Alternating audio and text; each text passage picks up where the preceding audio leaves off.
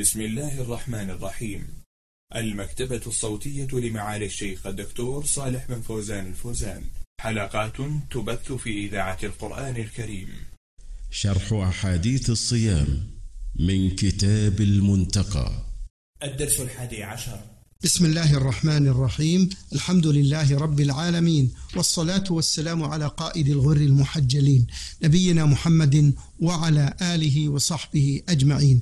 مرحبا بكم أيها الإخوة والأخوات في درس جديد من شرح أحاديث الصيام من كتاب المنتقى للإمام المجد عبد السلام بن تيمية الحراني.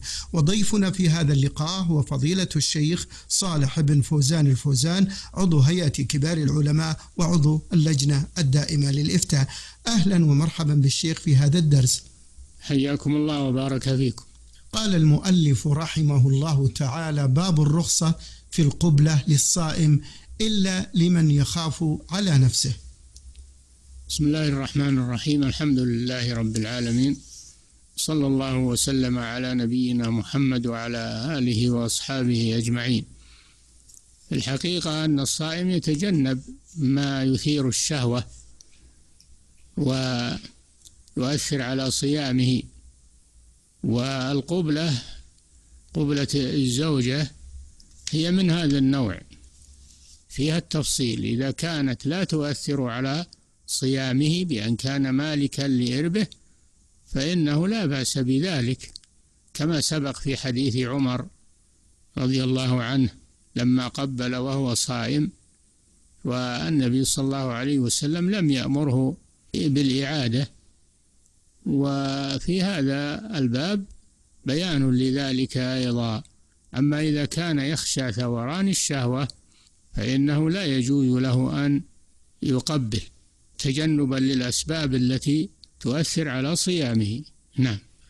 عن أم سلمة رضي الله عنها أن النبي صلى الله عليه وسلم كان يقبلها وهو صائم متفق عليه والحديث الثاني عن عائشة رضي الله عنها قالت كان رسول الله صلى الله عليه وسلم يقبل وهو صائم ويباشر وهو صائم ولكنه كان أملككم لإربه. نعم هذان الحديثان هما في موضوع الترجمة أن القبلة والمباشرة إذا كانتا يثيران الشهوة فإنهما لا يجوزان للصائم تجنبا لأسباب الإفطار.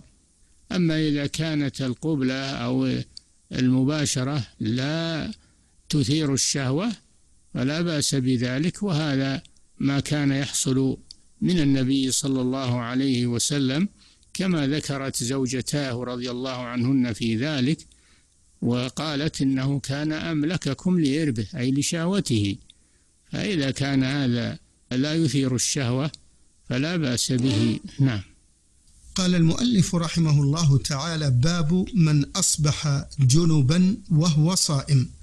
نعم الله جل وعلا قال فالان باشروهن وابتغوا ما كتب الله لكم إلى قوله وكلوا واشربوا حتى يتبين لكم الخيط الأبيض من الخيط الأسود من الفجر.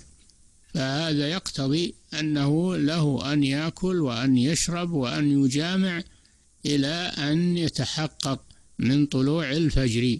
فإذا جامع فإنه يتسحر وهو جنب ثم يغتسل بعد ذلك بعدما يدخل في الصيام. فالاغتسال لو تأخر لا بأس بذلك. نعم. عن عائشة رضي الله عنها أن رجلا قال يا رسول الله تدركني الصلاة وأنا جنب أفأصوم؟ فقال رسول الله صلى الله عليه وسلم وأنا تدركني الصلاة وأنا جنب فأصوم. فقال لست مثلنا يا رسول الله. قد غفر الله لك ما تقدم من ذنبك وما تأخر. فقال والله إني لأرجو أن أكون أخشاكم لله وأعلمكم بما أتقي رواه أحمد ومسلم. نعم هذا الحديث نص في الموضوع في أن له أن أن يأكل ويشرب ويجامع إلى أن يطلع الفجر. فيتسحر أيضا لو جامع فإنه يتسحر قبل طلوع الفجر يتسحر ويأكل ويشرب قبل طلوع الفجر ويؤخر الاغتسال وذلك لا يؤثر على صيامه. لأنه لا يشترط لنية الصيام الطهارة فيجوز له أن يصوم وهو على غير طهارة وإذا كان جنبا يغتسل بعد ذلك وهذا ما كان يحصل من النبي صلى الله عليه وسلم وهو مأخوذ من الإشارة في الآية الآن باشروهن وابتغوا ما كتب الله لكم إلى قوله كلوا واشربوا حتى يتبين لكم الخيط الأبيض من الخيط الأسود من الفجر. فدل على أن أنه لو جامع قبل طلوع الفجر فإنه يقدم الأكل والشرب للسحور ويؤخر اغتسال الجنابة. ولما سأل رجل النبي صلى الله عليه وسلم عن ذلك أخبره أن هذا يحصل له صلى الله عليه وسلم أنه يصوم وهو جنوب ثم يغتسل. قال يا رسول الله إن قد غفر الله لك ما تقدم من ذنبك وما تأخر. وظن أن هذا خاص بالرسول صلى الله عليه وسلم. الرسول آه، بين له أنه صلى الله عليه وسلم يتجنب ما حرم الله وأنه مثل الأمة في هذه الأمور. وليس هذا من خواصه صلى الله عليه وسلم. نعم. وعن عائشة وأم سلمة رضي الله عنهما أن النبي صلى الله عليه وسلم كان يصبح جنبا من جماع غير احتلام ثم يصوم في رمضان متفق عليه. هذا كما سبق أنه صلى الله عليه وسلم كان تصيبه الجنابة ويحضر السحور قبل طلوع الفجر فيتسحر ثم يغتسل بعد طلوع الفجر. وهذا يدل على انعقاد الصيام ولو كان الإنسان على غير طهارة. وهذا من تيسير الله سبحانه وتعالى لهذه الأمة.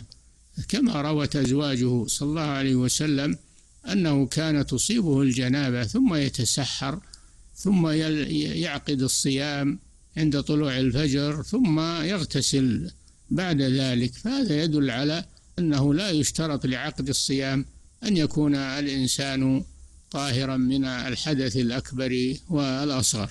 نعم.